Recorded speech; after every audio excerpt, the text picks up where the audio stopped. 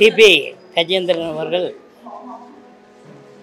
நல்ல அருமையான டைரக்டர் நான் ஒரு படத்தில் ஆக்ட் பண்ணியிருக்கேன். எங்கள் ஊர் க காவல்காரன் எங்கள் ஊர் பாட்டுக்காரன். ஒரு நாலஞ்சு படத்தில் நடிச்சிருக்கேன். நல்ல மனிதர் அருமையான மனிதர். எல்லோருடையும் நல்லா பழகுவார். ஊடகம் பத்திரிக்கை எல்லா பேரும் நல்ல பேரும் எடுத்தாலும் அவருக்கு பற்றி கிசு கிசு எதுவும் வந்ததில்லை. அது மட்டும் இல்லை டைரக்டர் விசு கூட பணிபுரிந்தவர்.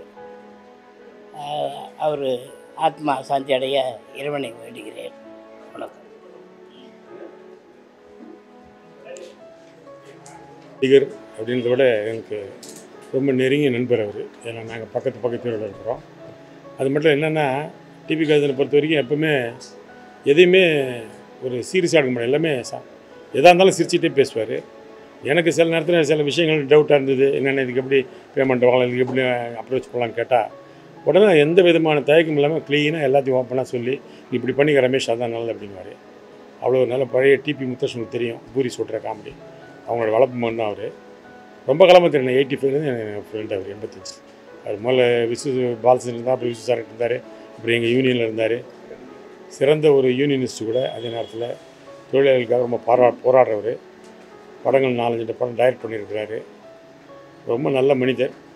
என்னன்னு தெரியல. கொஞ்சம் காலமாக சினிமாவுக்கு கொஞ்சம் கெட்டுட்டேன்.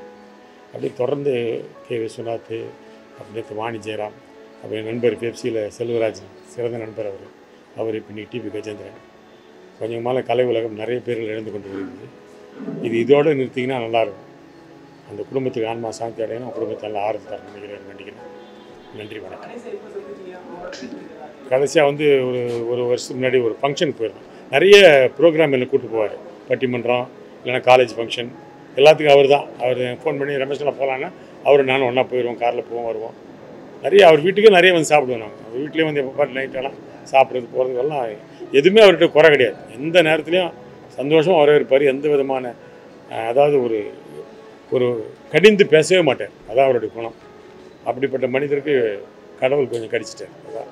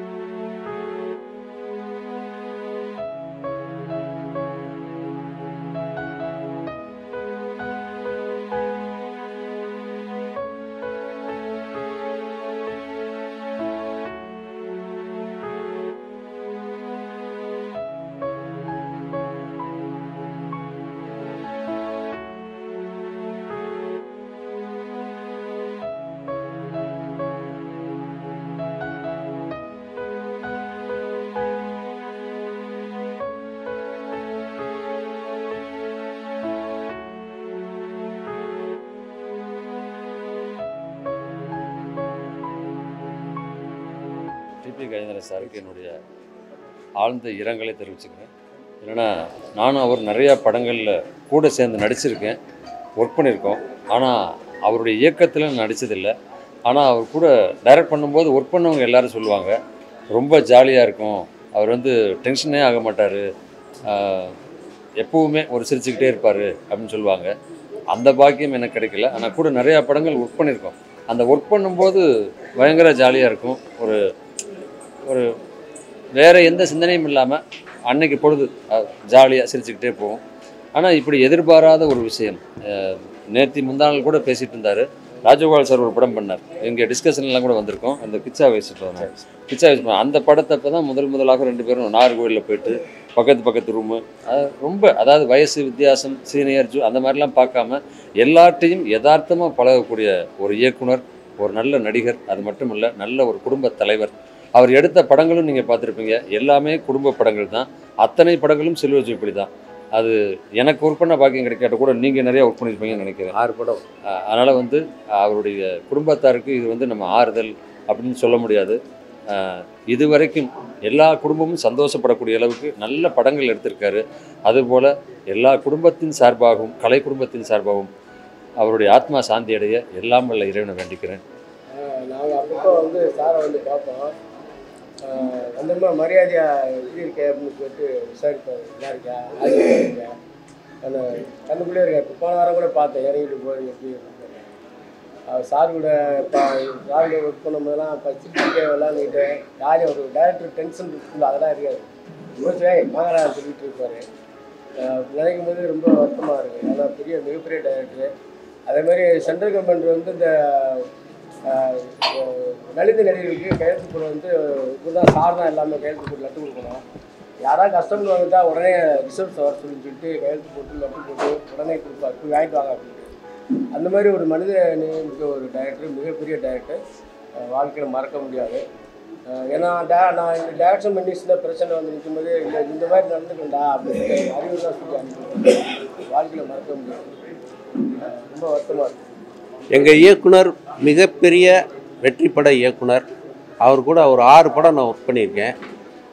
கோபப்பட மாட்டார்னு சொல்கிறாங்க ஆனால் எனக்கு அவருக்கும் நிறைய கருத்து வேறுபாடுகள்லாம் வந்திருக்கு. உடனே ஒரு ரெண்டு நிமிஷத்தில் மறுபடியும் நார்மல் ஆயிடுவார்.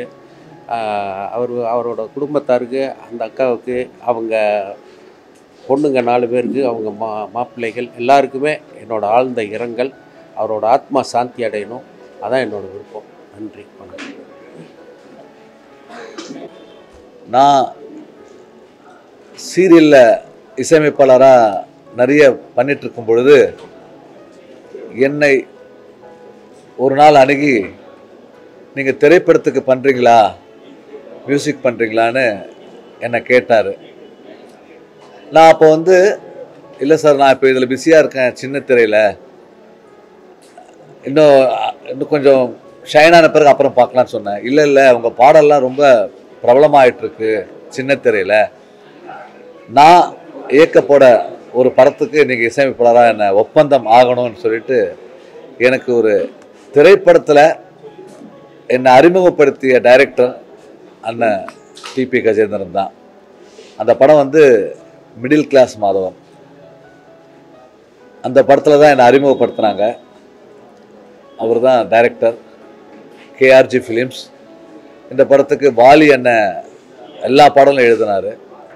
அப்போது அந்த கம்போசிங்லலாம் அந்த ஒரு ஆறு ஏழு பாடல் கம்போஸ் பண்ணும்பொழுது ஒவ்வொரு பாடலும் இருக்கிற அவரிடம் நான் என்னுடைய முதல் அனுபவத்தை பகிர்ந்து அந்த பாடல்கள் பண்ணி மக்கள் மனதில் வந்து பெரிய அளவுக்கு தாக்கத்தை ஏற்படுத்துச்சு. ஏன்னா சின்னத்திரையிலேருந்து ஒருத்தரை வந்து தைரியமாக ஏன்னா சின்னத்திரையில் இருக்கிறவங்க இன்னொரு பெரிய திரைக்கு வரணும்னா ரொம்ப சிரமம். அந்த காலத்தில் யாரும் வாய்ப்பு தர மாட்டாங்க. ஆனால் நம்பி எனக்கு அந்த வாய்ப்பை கொடுத்தாரு. அதனால் அன்னாரை என்னால் மறக்கவே முடியாது. இன்னைக்கு நம்மளை விட்டு பிரிந்திருக்கிறார். மேலும் அவர் மாதிரி ஒரு நல்ல மனம் ஒரு ஓப்பன் ஹார்ட்டட் மைண்டுங்க அவர். எப்பவுமே வந்து இது என்னால் முடியும் இது என்னால் முடியான்றதை ரொம்ப தெளிவாக சொல்லி எல்லாரையும் வந்து வழி நடத்துவார் நிறைய விஷயங்களை என்னோட என்னுடைய குடும்ப நிகழ்ச்சிக்கு நிறைய கலந்துருக்கார்.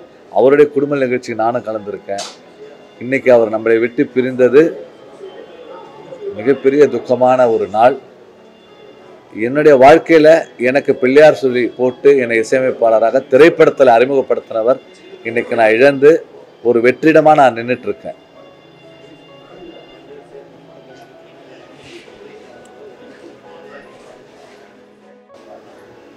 டிபி கஜேந்திரன் அண்ணா வந்து நான் சைல்டு ஆர்டிஸ்ட்லேருந்து இருக்கும்போதே அண்ணன் தெரியும். அண்ணனோட படத்தில் ஒரு மூணு நாலு படத்தில் நான் நடிச்சிருக்கேன். அவர் எப்போவுமே கலகலன்னு இருப்பார். கலகலன்னு பேசிகிட்டு இருப்பார். நிறைய அட்வைஸ் பண்ணுவார்.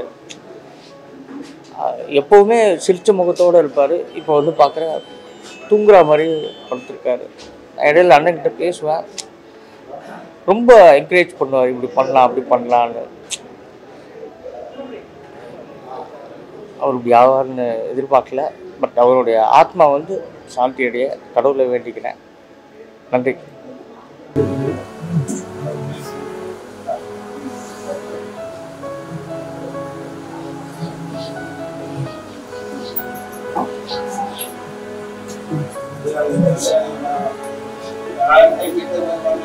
நல்ல ஆத்மா நம்மளுடைய ரொம்ப நல்லா இருக்கும் என்ன உழைப்பு என்ன நீதி போயிருக்கு யாருக்கும் எதையும் எதிர்த்து கை நீட்டாத நேர்மையாக உழைச்சு உழைச்சு வாழ்ந்து முதலமைச்சரே அது வந்து அவர் எதையிட்டு யார்கிட்டையும் விட்டாத அதாவது மனிதனை விட்டு விட்டு விட்டு எல்லாரும் மானசீகமாக இருந்தாத வயசு வரைக்கும் தொண்ணூத்தி எண்பது நல்ல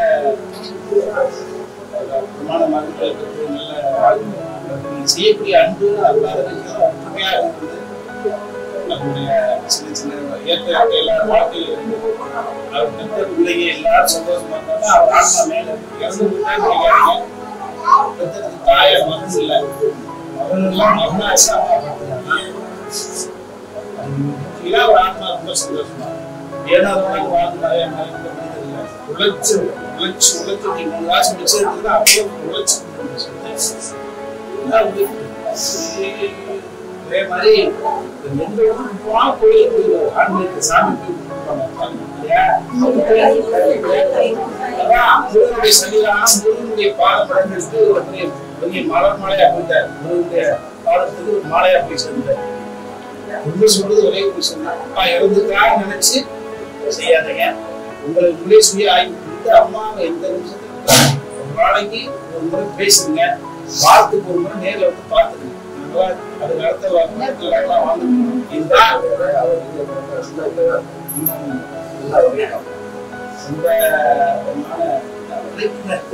கஜேந்திர சார் சிஸ்டர் செத்த கோணமா இருப்பாரு அடுத்த நிமிஷம் குழந்தையா மாதிரி இந்த வைத்து எவ்வளவு பெரிய சாதனை இந்த காலத்திலேயே ஒரு சுய பிரச்சாரம் நாட்டு சுய பிரச்சாரம் long leading questions. Start to our of and reach the time, Sat, time, sat, Kama sat. discuss nini sana, mambo ya dini kwa bara.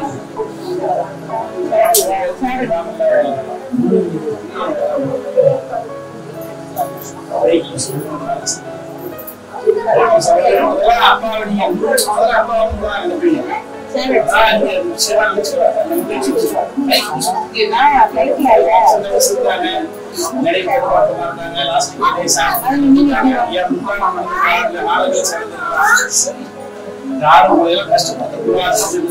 இடத்துக்கு தான் போகணும். அப்ப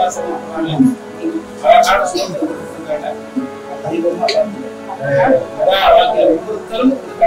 சந்தோஷம்.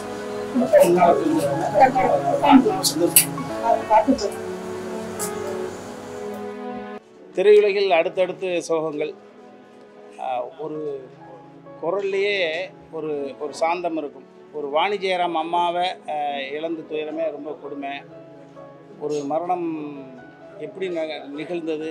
அந்த அந்திம நேரத்தில் அந்த அம்மா எப்படி துடிச்சிருப்பாங்க? என்ன கேட்டிருப்பாங்க? அதுவே தெரியாத அளவுக்கு அந்த துயரத்தை நம்ம விஷுவலாக பண்ணி பார்க்குற பொழுது ரொம்ப கொடுமடா அப்படியெல்லாம் ஒருத்தருக்கு அந்திமம் வந்துடக்கூடாது இந்த இசை உலகத்தினுடைய இந்த இறைவன் திருவடியை நோக்கி பாடிய ஒரு தாய்க்கு வந்து இப்படி ஒரு மரணமா அப்படின்னு ஒரு அதிர்ச்சியில் இருக்கிற பொழுது விடிஞ்சு எந்திரிச்ச உடனே இப்படி டிபி கஜேந்திரன் சாருடைய மரணம். உடல் பலவீனமாக இருந்தாங்க. அதெல்லாம் தாண்டி அவர் அறுபத்தொம்பது எழுபது வயதை தொட்ட பொழுது அவர் மரணம் எழுதியிருக்காரு. அவரை நான் வந்து ஒரு ஜாப்பெல்லாம் விட்டுட்டு சினிமா துறைக்கு வருகிற பொழுது துரு துரு துருன்னு அவர் ஒரு செட்டில் பார்க்குறேன் ஒரு ஒரு மனிதன் தன் உயரத்தை தாண்டிய ஒரு வளர்ச்சியை அடைய முடியுமா? என் மீது எவனும் சுய பச்சாதாபம் பண்ணிடக்கூடாது அப்படின்ற மிகப்பெரிய தன்னம்பிக்கையினுடைய வெளிப்பாடாக வாழ்ந்து மறைந்த ஒரு கலைஞர். ஒரு பாலச்சந்தருடைய பல்கலைக்கழகமாக இருக்கட்டும் அல்லது விசுசாருடைய உதவியாளராக இருக்கட்டும் உதவியாளராக இருக்கிறவங்களுக்கு குருநாதர் தெய்வமாக மதிச்சிருக்கிறாரு. அப்படி அவர்கிட்ட நிறைய கற்றுக்கிறதுக்கான அவருடைய திறமை அவருக்கே தெரியாத அளவுக்கு தூரத்திலிருந்து அவர் அப்சர்வ் பண்ணுற பொழுது யாராவது நான் அப்படி குள்ளமாக படைக்கப்பட்டனே இப்படி இருக்கே மற்றவர்கள் நீ பார்ப்பத அளவுக்கு அவுட்லுக் இல்லையேன்னு யாராவது தாழ்வு மனப்பான்மையோடு இருந்தால் சாரை பார்க்குற பொழுது அப்படி வெறி வரும். எனக்கு என்னடா குறைச்சல்? அப்படின்ற ஒரு உத்வேகத்தோடு வாழ்ந்த ஒரு அற்புதமான மனிதர். நான்கு பெண் குழந்தைகளை பெற்று எந்த திருமணத்திற்கும் எவரிடமும் கையேந்தாமல் சுய உழைப்பால் கடின உழைப்பால் நாலு பெண்களுக்கு திருமணத்தை பண்ணி வைத்து ஒரு நல்ல மகனாக நல்ல தன் கணவனாக நல்ல தந்தையாக நல்ல மாமனாராக நல்ல தாத்தாவாக இன்றைய முதலமைச்சருடைய ஒரு உற்ற நண்பனாக இருந்து நல்ல பன்முக கலைஞனாக இருந்து ஒரு முழிய முழு வாழ்க்கையை வாழ்ந்துட்டு மறைஞ்சிருக்காங்க. அந்த டிபி கஜேந்திரன் சார் போன்றவர்கள் வந்து நிறைய அடுத்த திரையுலகத்தோட தம்பிமார்களுக்கு தங்கைமார்களுக்கு மிகப்பெரிய நல்ல ஒரு உதாரணம். நிச்சயமாக அந்த ஆத்மா இறைவன் திருவடியில் தான் இழைப்பாரும். ஏனால் அவருக்கு ஆன்டி ஃபேன்ஸ் கிடையாது. அவரை பார்க்கிற பொழுது எல்லாருக்கும் ஒரு உற்சாகம் வரும். அப்படி தான் இப்போ பார்த்த பொழுது கூட தூங்கிக்கிட்டு இருக்கிற ஒரு உணர்வு தான் பார்த்தேன். அவருடைய ஆத்மா சாந்தி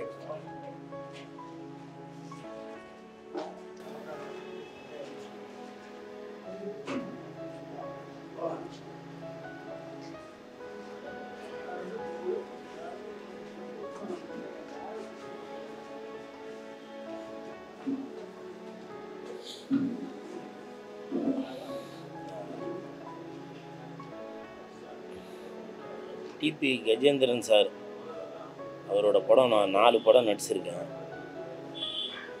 மகனே என் மருமகனே படத்தில் நான் வில்லனாக நடிச்சிருக்கேன் அவரோட படம். அப்போ அதில் வந்து ஒரு பார் ஃபைட் ஒன்று வரும். அந்த பார் ஃபைட்டில் என் தலையில் அடிபட்டுருச்சு. பாட்டில் எடுத்து அடிக்கிற மாதிரி சீனில் என் தலையில் அடிபட்டுருச்சு. அப்போ ஃபைட் மாஸ்டர் சொன்னாங்க டேய் உனக்கு ஓகே தானேப்பா? அப்படின்னு சொல்லி மாஸ்டர் கேட்டாங்க ஃபைட் மாஸ்டர் ஆனால் டேரக்டரு கஜேந்திரன் சார் அவர் ஓடி வந்து இரு இருங்க சார் என்ன நீங்கள் ஓகே அப்படின்னு கேட்டு இது பண்ணுறீங்க ஆர்டிஸ்ட்டுக்கு அடிபட்டுச்சுனாக்க இன்னும் அதுக்கடுத்துலாம் நடிக்க வேண்டியது இருக்குது அவர் இந்த படம் மட்டுமா நடிப்பார்? நான் எவ்வளோ படம் நடிக்க வேண்டியது இருக்குது அது முதல்ல அது எதுவும் ஃபஸ்ட் எய்டு எதுவும் பண்ணணுமா? என்னென்னு பாருங்கள் அப்படின்னு அன்றைக்கி வந்து உரிமையோடு சொன்னார். அதாவது நடிச்சுட்டு மட்டும் போனால் பத்தாது. அவங்களோட உயிருக்கும் பாதுகாப்பு வேணும் அப்படின்ற ஒரு எண்ணத்தில் நான் அப்போ தான் நினச்சேன் நான். அப்போ இவர் இதை வந்து இவ்வளோ கேர் பண்ணி பார்க்குறாரு. அதுக்கப்புறம் தான் நானும் நினச்சேன் அவருக்குள்ளேயும் ஒரு நடிகர் இருக்கிறதால தான் டைரக்ஷன் மட்டும் இல்லை ஒரு நடிகரும் உள்ளே புகுந்துருக்கிறதால தான் ஒரு நடிகரோட வழியும் அவருக்கு வந்து தெரிஞ்சிருக்கு. அன்றைக்கி வந்து என் மேலே அவ்வளோ கேர் பண்ணார். கூழு ஒன்றும் ஒன்றும் ஒன்றும் பெருசாக ஒன்றும் இல்லைல்ல அப்படின்னு சொல்லி. அப்படி என் மேலே வந்து ரொம்ப அக்கறை கொண்டவர். இன்றைக்கி இன்னைக்கு வந்து இறந்துட்டாரு அப்படின்னு சொல்லி ஒரு துயர செய்தி கேட்டவொடனே நான் பாண்டிச்சேரியில் ஒரு ஷோவுக்காக போயிருந்தேன். உடனே இந்த மாதிரி செய்தி கேட்டோம் நான் உடனே கிளம்பி வந்துட்டேன். ஏன்னா அன்னைக்கு அந்த படம் நான் நடித்தப்போ எனக்கு ஓரளவுக்கு பேர் வந்துச்சு. இந்த பேர்லாம் தான் நான் இன்னைக்கு வரைக்கும் இந்த இவ்வளோ பிரபலமாக இருக்கிறது. இப்படி இவரை கூட பார்க்க முடியாத அளவுக்கு நம்ம என்ன ப- போய் பணம் சம்பாதிக்க போகிறோம் அப்படின்னு அவர்கிட்ட அந்த ஷோக்கு போன இடத்துல சொல்லிட்டேன். சார் இந்த மாதிரி டிபி கஜேந்திரன் சார் இறந்துட்டார். நான் அங்கே போகிறேன் முடிஞ்சால் வரேன். இல்லைனா என்னை மன்னிச்சிருங்க அப்படின்னு அவரும் அந்த ப்ரோக்ராம் அரேஞ்ச் பண்ணவரும் ஒத்துக்கிட்டாரு. இவர் கஜேந்திரன் சார் அவரோட இழப்பு இந்த சினிமா துறைக்கு வந்து பெரிய இழப்பு தான். அது மட்டும் இல்லை நான் வந்து கலர் கலராக ட்ரெஸ்ஸு போட்டிருப்பேன் பார்த்துருப்பீங்க. அதற்கு காரணமே டிபி கஜேந்திரன் சார் தான். ஏன்னா அவர் தான் கலர் கலராக ஒரு பட்டு சட்டை போட்டாலும் பட்டு சட்டை ஒரு சிகப்பாக பச்சையாக மஞ்சளாக இப்படி கலர் கலராக ஸ்டைலாக போடணும் அப்படின்னு நினைப்பார். அதனால் எனக்கு என்ன வார்த்தை சொல்கிறதுன்னு தெரியல. ஏன்னா பொதுவாகவே கூல் சுரேஷ் இருக்கிற இடம் எப்போவுமே கலகலப்பாக இருக்கும். இன்றைக்கி ஒரு மயான அமைதியாக இருக்குது பத்திரிக்கை நண்பர்கள் ஊடக நண்பர்கள் கூட என்னை பார்த்தவொன்னே ஒரு ஒரு ஒரு குதூகலமாக ஆயிடுவாங்க அண்ணா வாங்கண்ணா எப்படிண்ணா இருக்கீங்க? பேசலாமா? அதுதான் இதுனா அப்படின்வாங்க இன்றைக்கி அவங்களே கூட ஒரு தோண்டு போயிருக்கிறாங்க. என்ன பேசுகிறதுக்கு கூப்பிடலாமா? வேணாமா? அப்படின்னு அவங்களே ரொம்ப தயங்கி தயங்கி கூப்பிட்டாங்க. அவரது ஆத்மா சாந்தி அடையணும். அவரது குடும்பத்தாருக்கு என் மனமார்ந்த இரங்கல். சொல்வதற்கு வார்த்தையே இல்லை. டிபி கஜேந்திரன் சார் சினிமாவையும் தாண்டி எனக்கு நீங்கள் பர்சனலாக பல ஹெல்ப் பண்ணியிருக்கீங்க உயரம் குள்ளம் அப்படின்லாம் ம- சில பேர் வந்து பார்த்து பழகுவாங்க. ஆனால் நீங்கள் உயரமாக வளருவதற்கு குள்ளம் வந்து ஒரு தடை இல்லை என்பதற்கு நீங்கள் ஒரு உதாரணம். எனக்கு கூட ஞாபகம் இருக்குது கஜேந்திரன் சார். ஒரு ஷாட்டில் வந்து என்னை வந்து கொட்டணும். நான் சொன்னேன் நான் குடிஞ்சுக்கிறேன் சார். குடிஞ்சவொடனே என் தலையில் கொட்டுங்க அப்படின்னு. அப்போ நீங்கள் சொன்னீங்க இல்லை கூலு நான் வந்து சேர் மேலே ஏறி உன் மண்டையில் கொட்டுறேன் அப்படின்னு சொன்னீங்க. எனக்கு அதெல்லாம் ஞாபகம் இருக்குது கஜேந்திரன் சார்.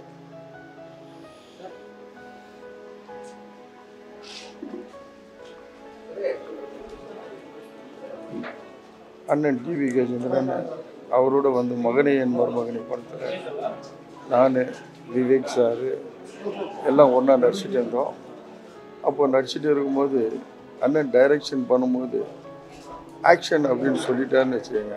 அப்படியே நெஞ்சை பிடிச்சிக்கிறேன் அப்போ ஏன் பிடிச்சிக்கிறாருனாக்கா அப்போ ஃபிலிம் எல்லாமே ஃபிலிமில் நாங்கள் ஆக்ட் பண்ணுவோம். அந்த மாதிரி பண்ணும்போது அவர் டேக்கு கஷ் இதுவாகிட போகுது தப்பாகிட போகுதுன்ட்டுன்னு ஆட்டை பிடிச்சார் அவர் ஆட்டை பிடிக்கிறது என்னென்னா எங்களுக்கு வந்து உணர்ச்சியை கொடுக்குது. நடிக்கணும் நல்லா நடிக்கணும். நல்ல பேர் எடுக்கணும். சாருடைய டைரக்ஷனில் எதுவும் மிஸ் ஆகுறது ஏன்னா காமெடி சென்ஸு ஐயாவுக்கு ரொம்ப இருக்குது அந்த காமெடி சென்ஸ் அந்த டைமிங்லாம் ரொம்ப கவனிப்பார். ஒரு முறை மானிட்டர் பார்த்தாருன்னா மறுமுறை டேக்குன்றார் டேக்குன்னு முடியும் ஆர்ட்டை தான் போடுவார் ஏன்னா ஃபிலிம் அவருக்கு வந்து ரொம்ப முக்கியமானது இருக்குது அதே நேரத்தில் எங்கள் நடிப்பை வந்து ஒன்று ஒன்று ரசித்து அழகாக எடுப்பார்.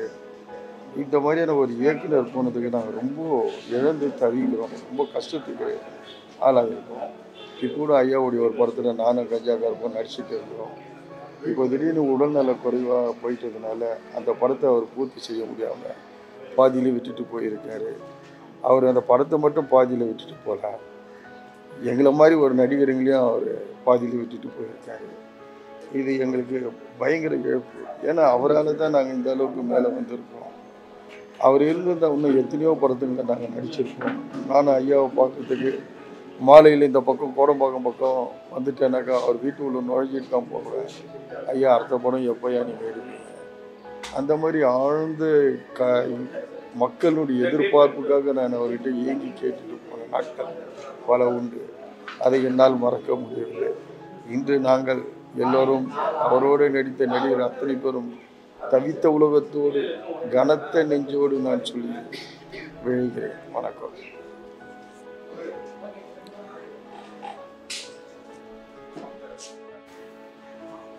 இயக்குனர் டிபி கஜேந்திரனுடைய மரணம் வந்தது. உண்மையிலே அதிர்ச்சி அளிக்கக்கூடியது. இடையில் வந்து ரொம்ப உடல்நிலை சரியில்லாமல் இருந்தவர் மறுபடியும் ரொம்ப நல்லா இருந்தோடனே இன்னும் சினிமாவிலுடைய அவருடைய பயணம் இன்னும் கொஞ்சம் காலம் நீளும் அப்படின்னு தான் எல்லாருமே எதிர்பார்த்துட்டு இருந்தோம். எனக்கும் அவருக்கான உள்ள நட்புங்கிறது ரொம்ப வயதை மீறிய ஒரு நட்பு. ஒரு மாதிரி தன்னுடைய பிள்ளை மாதிரி அவர் கவனித்து கொண்ட விஷயங்கள் வந்து இன்றைக்கும் நிழலாடி கொண்டு இருக்கிறது அவருடைய படங்களை நான் பாட்டு எழுதியிருக்கிறேன்.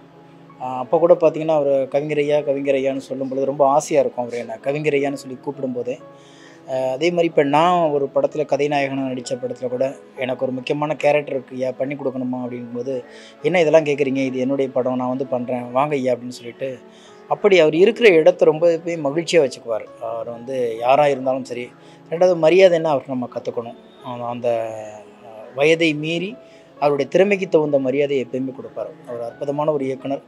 தமிழ் சினிமாவில் மிகச்சிறந்த படைப்புகளை கொடுத்த இயக்குனர் மிகச்சிறந்த கதாபாத்திரங்களை கொடுத்த இயக்குனர் மிகச்சிறந்த நண்பர்களை சேகரித்த இயக்குனர் மிகச்சிறந்த வளரும் தலை கலைஞர்களை வந்து அரவணைத்த ஒரு முன்னோடி. இப்படி நிறைய விஷயங்கள் சொல்லலாம். ஆனால் மரணம் பொதுவானது என்று எல்லாருக்கும் தெரிந்தால் கூட சிலருடைய மரணம் வந்து நம்மளை வந்து வருத்தத்துக்குள்ளாக்கும் நீண்ட அமைதிக்கு உள்ளாக்கும் அப்படி ஒரு வருத்தத்துக்கும் நீண்ட அமைதிக்கும் இந்த நேரம் வந்து திரையுலகத்தை சார்ந்த அநேக பேரையும் அது வந்து ரொம்ப இறுக்கமான சூழலில் இவருடைய மரணம் அன்னைக்கு நிகழ்த்தி இருக்கிறது எனவே அவருடைய புகழும் அவருடைய படைப்புகளும் அவருடைய நட்பும் நிச்சயமாக இங்கு அவரை பற்றியான புகழாரங்களை சூடிக்கொண்டே இருக்கும். அவருடைய ஆன்மா சாந்தியடைய எல்லாம் உள்ள இறைவனை வேண்டிக் கொள்கிறோம்.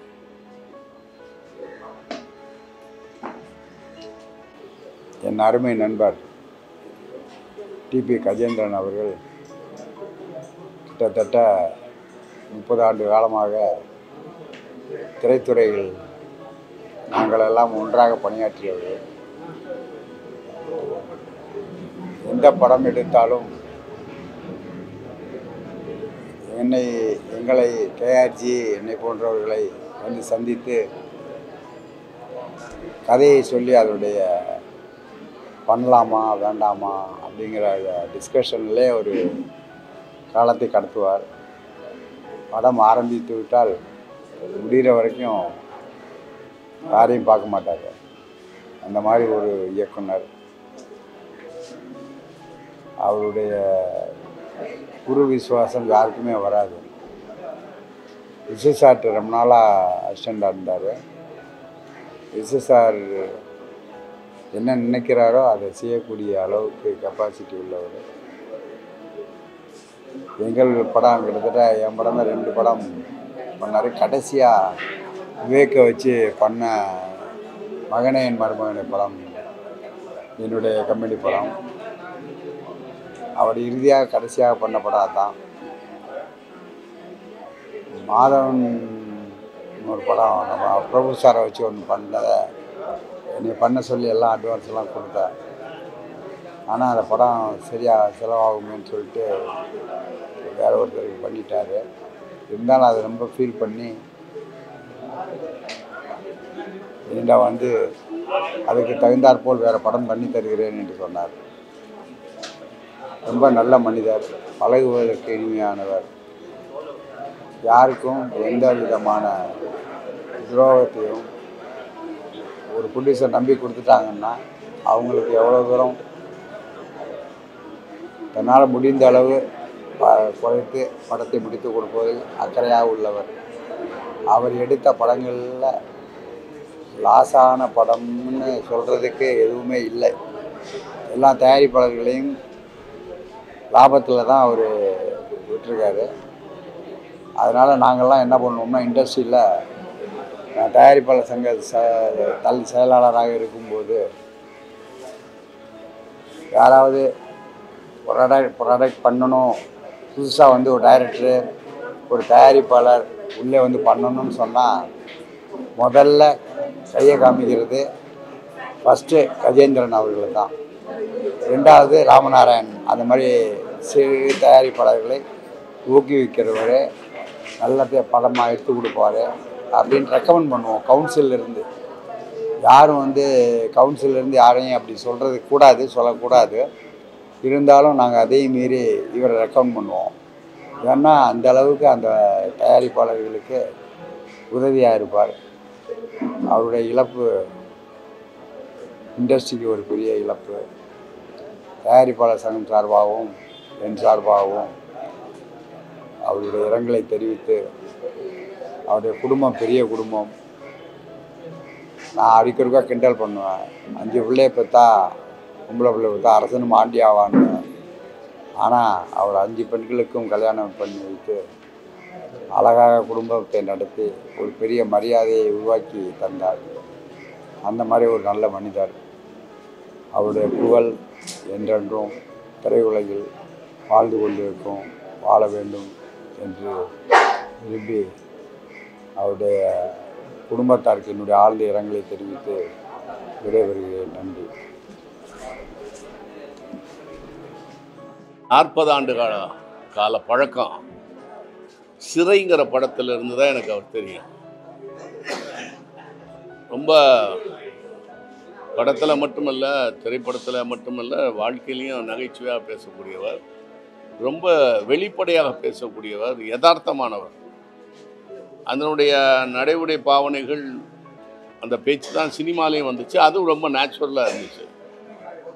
நான் வந்து ஒரு ரெண்டு ஆண்டுகளுக்கு முன்பாக வந்து மதிப்புக்குரிய டிபி முத்துலட்சுமி அம்மா இவருக்கு வந்து அத்தை மக. அதாவது கட்டுற முறை மாதிரி வயசு தான் வித்தியாசம்.